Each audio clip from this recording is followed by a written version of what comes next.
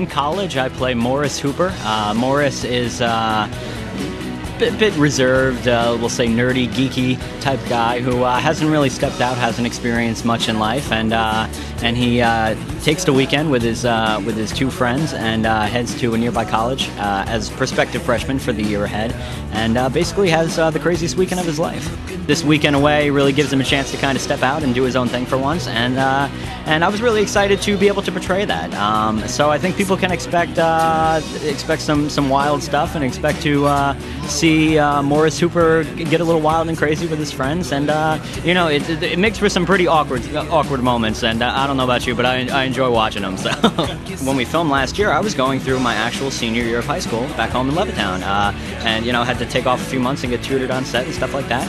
Um, but uh, but it was refreshing that all of us were you know around that age that uh, you know we'd really be going through it in real life. So I, I think that's that's what people want to see portrayed. I mean, you know, nowadays you see these 28 uh, year olds, 29 year olds playing high school students, and it's like, all right, well, you know, they're good looking people, but that's not too realistic. So, so I think it's I think it's great.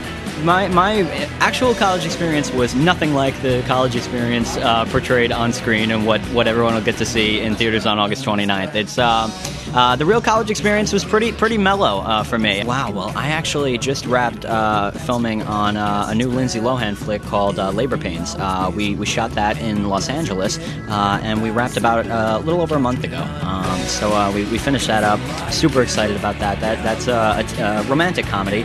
Lindsay fakes a pregnancy in order to save her job and so it, it, yeah, it's it's it's it's pretty it's pretty wild. And uh, we all work in an office, and I get to play Greg, who is uh, the annoying office intern that nobody can stand. It's one surprise after another in this industry. I mean, I was surprised when I made it as far as I did in Idol, not for a lack of self confidence, but nothing really prepares you for that. I went to Idol as a 16 year old kid who, you know, just wanted to, you know, see what I what could happen, but I didn't expect to get past round one. So to make it to number 11 on season five, uh, you know, I did Idol as a 16 year old old kid. And I, have found now that 19, at 19 years old that the, the music is still a work in progress, whereas acting after Idol has really taken the forefront. So it's interesting how it works out, but I've always loved to act, and uh, as a result of being on the show, uh, got the lead role in college, and uh, here we are after reading the script and you know reading for the part of Morris, I said, well, this is a movie that I would go see with my friends any day of the week. So this is something I would do in a heartbeat. Um, so so I was just I was really excited to uh, to be a part of that. College stands on its own and it's very funny and, and I'm, very excited about it. But it is it is a wild film. Uh, it's going to be rated R, a little raunchy. Uh, got some got some wild parts in it. So. Looking good, Kev. A lot hairier than I thought you'd be.